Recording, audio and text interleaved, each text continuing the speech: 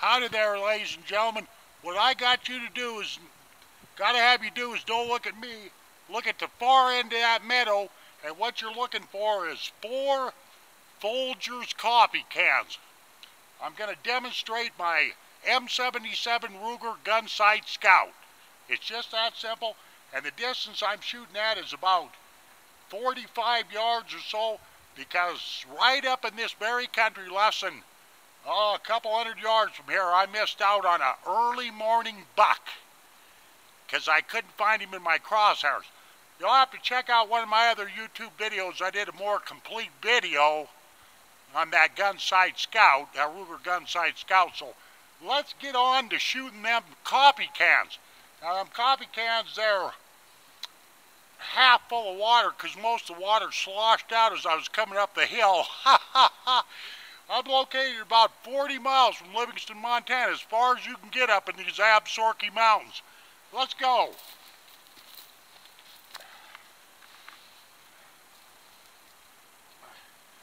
Here is my scout rifle. I'll hold it up here like this. I'm basically going to be shooting non-supported, but I'm not shooting at a very long distance. I'm only going to shoot four rounds if this works out okay for me. I never know. I got seven in the piece, but let, let, let's see what happens. I am shooting, this is a 308, and I am shooting 180 grain rounds. So look down range there and see if you can pick out those red one gallon, I guess they are, coffee cans. The one that's the furthest in the distance down there, I'm going to take it out first, and then I'm going to work my way back this way. Okay. Rifles got a cartridge chambered. Safety is off. Here we go.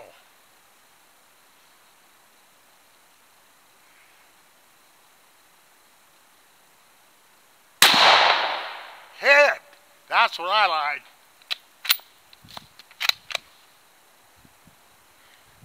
I'm going to take out that one on the right there, sorry about the wind. Ain't nothing I can do about that wind up in this country.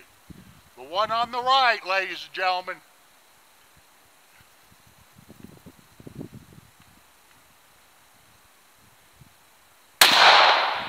Yeah, baby. Yeah, baby. Hit. The one, that's an old fireplace up there, ladies and gentlemen. Uh, I had a heck of a time propping up those those uh, coffee cans, but the one that's right in the middle of your screen, it's on the far side of the fire pit, it goes next. I forgot to put my earplugs in too. I can really hear it.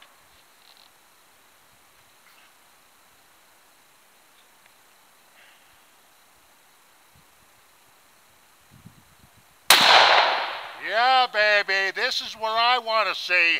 This is what I want to see fourth round in my very last can, which I've blown into smithereens. I've got plastic laying all over the place, which I will clean up before I leave here. That this one can, coffee can, is on the right of that small pine tree. You can probably just barely see it.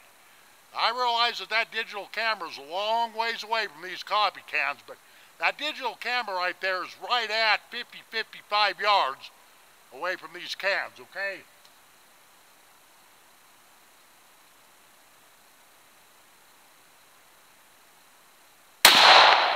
Oh, yeah, baby. Yeah, baby.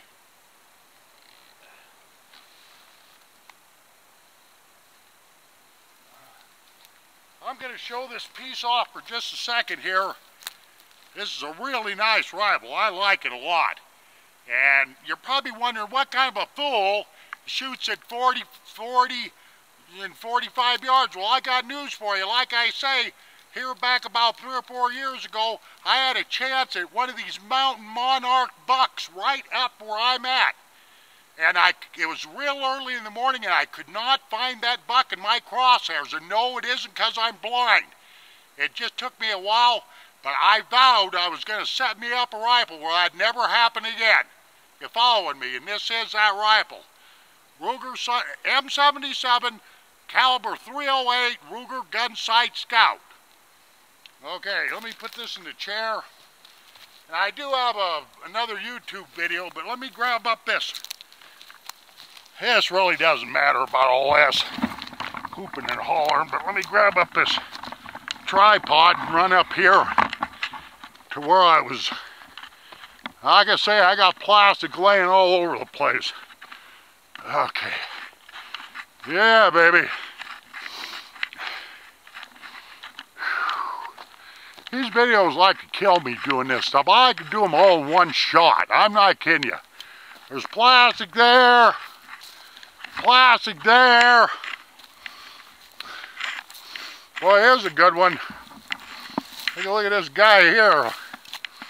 Ah, where did I hit him anyway? I guess it really doesn't matter. I got him somewhere. Here's a leave a hole right there. Right there, dead in the middle of that sucker. They were full of water. Okay, there's another one. See my straps in the way. Okay. Hope you appreciated that, ladies and gentlemen. But that's a demonstration of my brush rifle. Because up in this old timber up here in Montana, like I say, I don't know how many times that a, a big bull elk snuck out on me, or a big buck and all that, just because the timber's dark, the cover's heavy, etc., etc. Okay, I don't want this video to get too long. Took me a while to set up for this. Thank you very much for the review.